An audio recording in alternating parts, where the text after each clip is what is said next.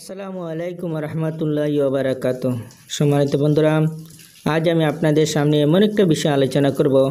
সেই বিষয়টা নিয়ে আলিমুল আহমেদের মধ্যে অনেক মতানৈক্য দেখা দিয়েছে। রাসুল পাক সাল্লাহ সাল্লাতামের মেরাজটা সশরীল হয়েছে নাকি স্বপ্নযোগ্য হয়েছে? সেই বিষয় নিয়ে আমি আজ আপনাদের সামনে কোরআন এবং হাদিস থেকে কিছু গুরুত্বপূর্ণ বিষয় আলোচনা করব। যদি আল্লাহ পাক রব্বুল আলমিন আমাকে তৌফিক দিয়ে থাকেন। ওমা তৌফিক ইল্লা বিল্লাহ। আল্লাহ পাক রব্বুল আলমিন পবিত্র কালামুল্লাহ শরীফের মধ্যে এরশাদ করেন সুবাহানিল্লাজি আসরা বি আব্দিহি লাইলা মিনাল মসজিদিল হারাম ইলা মসজিদুল আকসা।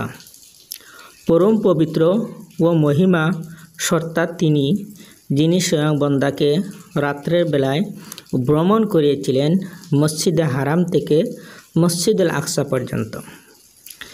এখানের মধ্যে এই আয়াতটা যদি আমরা বিশ্লেষণ করি, এই আয়াতটা যদি আমরা রিসার্চ করি, তাহলে বোঝা যাবে রাসুল পাক সাল্লাহ সাল্লাতামের মেরাজ শরীফটা সশরীরে হয়েছে স্বপ্নযুগে হয় নাই। এখানের মধ্যে একটা শব্দ আল্লাহ পাক রবুল আলম ব্যবহার করেছেন, বিআবদি। বিআবদি শব্দ ব্যবহার করেছেন। আব্দ বলতে শরীর এবং রুহ একসাথে থাকা বোঝায়। যেমন পবিত্র কালামুল্লাহ শরীফের মধ্যে কোরআনে আল্লাহ পাক রব্বুল আলমিন এরশাদ করেন আর আইতাল্লাজি ইয়াংহা আবদা ইজা সাল্লাহ আপনি কি তাকে দেখেছেন যে নিষেধ করে এক বন্দাকে যখন সে নমাজ পড়ে? এর তো আয়াতে যে আব্দ বলতে শরীর ও রুহু সমষ্টিকে বোঝানো হয়েছে, তাতে কোনো সন্দেহ নাই। এতে বোঝা যায় রাসুল পাক সাল্লাহ সাল্লাতামের মেরাজটা সশরীরে হয়েছে। সুরাতুল জিনের মধ্যে আব্দ বলতে শরীর এবং রুহ উভয়কে বোঝানো হয়েছে। যখন আল্লাহ, যখন আল্লাহর বন্দা তাকে ডাকার জন্য দণ্ডায়মান হলো, এখানে আব্দ বলতে শরীর, রুহ, ব্যক্তি, জীবিত, জাগ্রত ব্যক্তিকে বোঝানো হয়েছে। এত হ্যাব ইসরা আবদিহি লাইলা।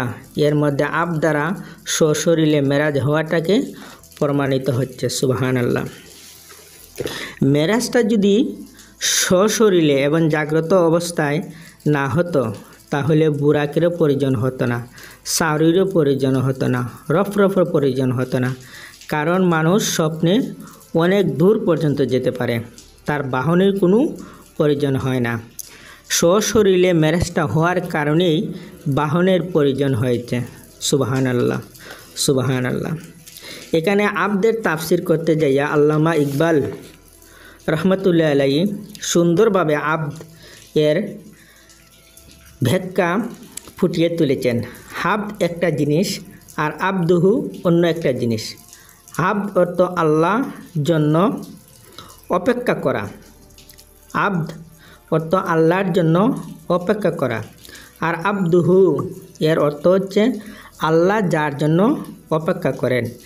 এই মেরাজের ঘটনার মধ্যে আল্লাহ পাক রব্বুল আলমিন বি আব্দিহি শব্দটা ব্যবহার করেছেন। বি আব্দিহি শব্দটা ব্যবহার করার কারণে বোঝা যাচ্ছে আল্লাহ আমার নবীর জন্য অপেক্ষা করছেন। সুবাহান আল্লাহ সুবাহান আল্লাহ আল্লাহ নবীর জন্য অপেক্ষা করছেন। কখন নবী আল্লাহ পাক রব্বুল আলমিনের নিকট এসে হাজিরা দিবেন? রাসুল পাক সাল্লাহ সাল্লাতামের মেরাজ জাগ্রত অবস্থায় সশরীরে আকাশের দিকে অতপর আল্লাহর ইচ্ছা মতে যে কোনো স্থানে হওয়া বিষয়টা সঠিক এবং সহি। সুবহান আল্লাহ আল্লামা তাপ্তানি রহমতুল্লাহ আলাই যারা বলে, নবীজির মেরাজটা স্বপ্নযোগ্য হয়েছে। তাদের বিরুদ্ধে তিনি একটা দলিল পেশ করেছেন। আয়াতে কারিমায় হাদিসের ভাষায় রুইয়া বলতে স্বপ্ন বোঝানো হয় নাই বরং এখানে তার অর্থ হচ্ছে রুইয়া বিল আইন, অর্থাৎ চক্ষু দৃষ্টি।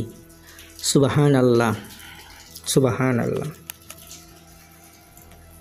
এখন প্রশ্ন হলো, রাসুল তো মেরাজের শ্বশুরিলে গিয়েছেন, তিনি কি শ্বশুরিলে চক্ষু কি আল্লাহকে দেখেছেন?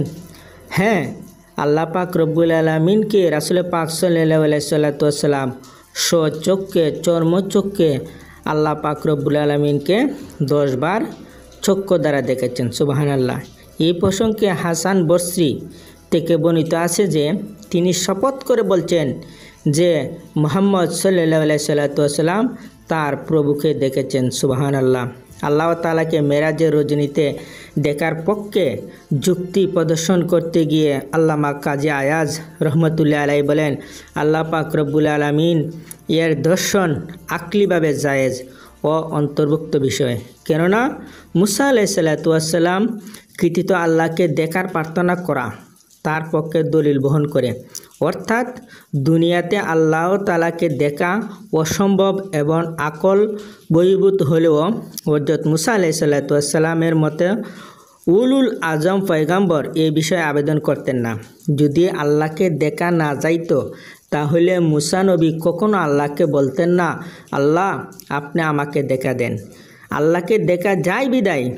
মুসানবী আল্লাহ পাক রব্বুল আলমিনের কাছে আরজ করছেন, আল্লাহ, আমাকে আপনি দেখা দেন সুবাহান আল্লাহ হজরত ইবনে আব্বাস রাদিয়াল্লাহু তালান হইতে বর্ণিত, তিনি বলেন, তোমরা কি হজরত ইব্রাহিম আলাই সাল্লাতামের জন্য আল্লাহর খলিল হওয়া হজরত মুসা আলাই সাল্লাতামের জন্য আল্লাহর কালামুল, কালিমুল্লাহ হওয়া হজরত মোহাম্মদ সাল্লাহ আলাই সাল্লাতামের জন্য আল্লাহর দর্শন লাভ করার বিষয় আশ্চর্য বোধ করছ?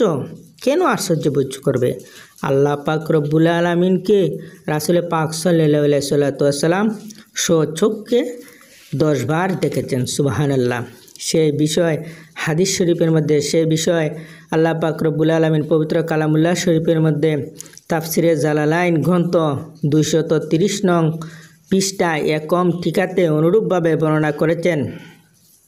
হজরত ইবনা আব্বাস রদিউল্লাহ তালান হইতে বর্ণিত।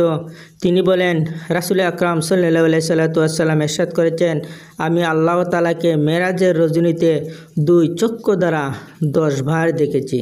সুবাহান আল্লাহ সুবাহান আল্লাহ যাই হোক, আল্লাহ পাক রব্বুল আলমিন আমাদেরকে যেন মেরা শরীফ বুজার এবং মানার তৌফিক যেন আল্লাহ পাক রব্বুল আলমিন আমাদেরকে যেন দান করেন।